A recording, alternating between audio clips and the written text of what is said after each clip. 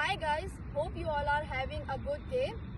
Recently I came across a renowned sports company called Zap Sports. I've got their kit bag which by the way is very durable. Let's see what they have. I have got Zap gloves and bat here. The material they have used for the gloves is really